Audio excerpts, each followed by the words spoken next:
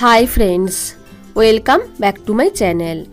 আজ আমি আপনাদের সাথে শেয়ার করতে চলেছি ফুলকপির একটি রেসিপি। আমাদের বাড়িতে যখন মাছ মাংস থাকে না বা মাঝে মধ্যে এমন হয় কি মাছ মাংস ডিম খেতে ভালো লাগে না, ঠিক সেই সময় বানিয়ে নিন ফুলকপির এই রেসিপিটা। তাহলে বন্ধুরা, এই রেসিপিটা দেখে নেওয়া যাক। এর জন্য আমি একটা ফুলকপিকে কেটে নিয়েছি।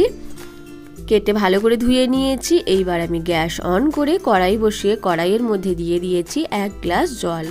জলের মধ্যে দিয়ে দিলাম ওয়ান ফোর্থ টিস্পুন নুন।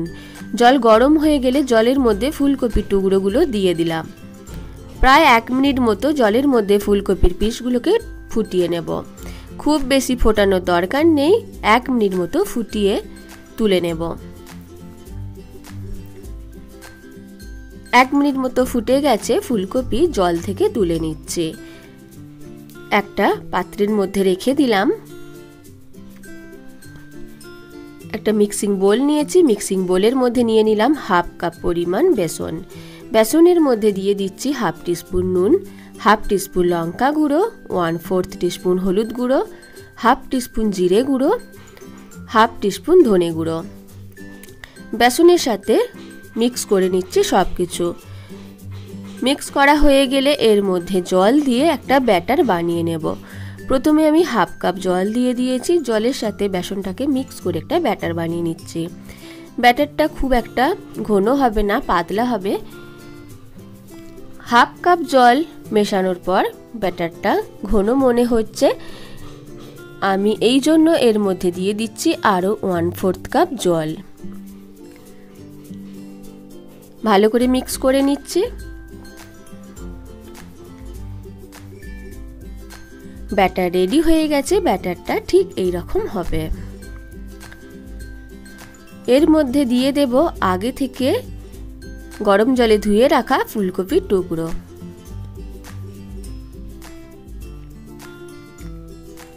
ফুলকপি, বেসনের ব্যাটারের সাথে ভালো করে মিক্স করে নিচ্ছে। মিক্স করা হয়ে গেছে। গ্যাস অন করে কড়াই বসিয়ে কড়াইয়ের মধ্যে দিয়ে দিয়েছি পরিমাণ মতো রিফাইন্ড অয়েল।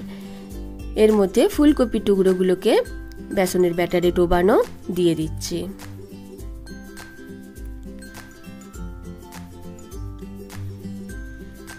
উল্টে পাল্টে ভেজে নেব।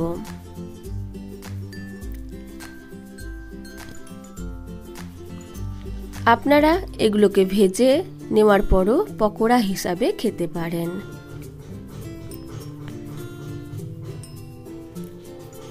এই রেসিপিটা আপনারা ভাতের সাথেও বানিয়ে নিতে পারেন বা রুটির সাথেও বানাতে পারেন।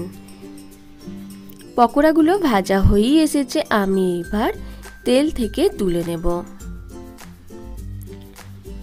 সেম প্রসেসে ফুলকপির বাকি টুকরোগুলোকেও ভেজে নেব।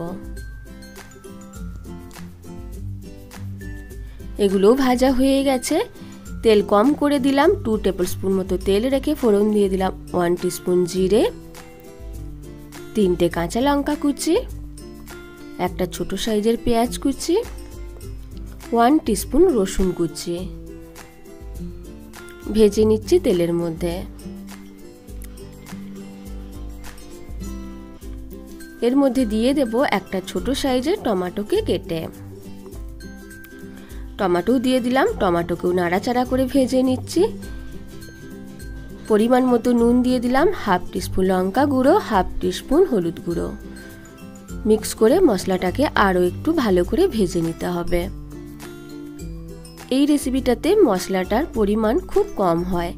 মশলাটা ভালো করে ভাজা হয়ে গেছে, বেসনের যেই ব্যাটারটা বেশি হয়ে গেছে, ওয়ান টেবিল স্পুন মতো, এর মধ্যে দিয়ে দিচ্ছি হাফ কাপ জল। জল দিয়ে এইভাবে ভালো করে মিক্স করে নিয়ে ব্যাটারটা আমি মশলার মধ্যে দিয়ে দেব।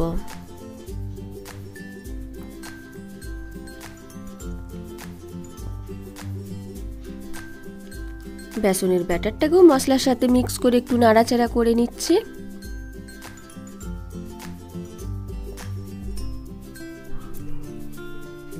একটু নাড়াচাড়া করা হয়ে গেলে এর মধ্যে দিয়ে দিলাম পরিমাণ মতো জল। এখানে আমি দিয়ে দিলাম এক কাপ জল। জলটা মিক্স করে ফুটতে দেব। ফুটতে শুরু করলে ফুলকপির পকোড়াগুলো দিয়ে দিচ্ছি।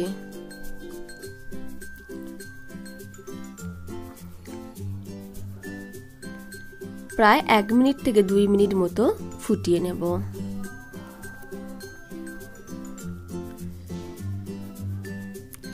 আপনারা যদি গ্রেভিটা পাতলা পছন্দ করেন, তাহলে এর মধ্যে আরও একটু জল অ্যাড করতে পারেন।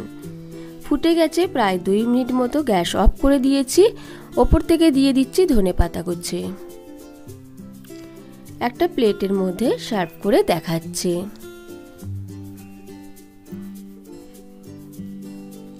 ফুলকপির ভিন্ন স্বাদের এই রেসিপিটা আপনারা অবশ্যই বানিয়ে দেখবেন। ভালো লাগলে লাইক শেয়ার এবং কমেন্টস করতে ভুলবেন না। আর আমার থেকে আমার নিত্য নতুন ভিডিও পেতে প্লিজ আমার চ্যানেলটিকেও সাবস্ক্রাইব করতে ভুলবেন না।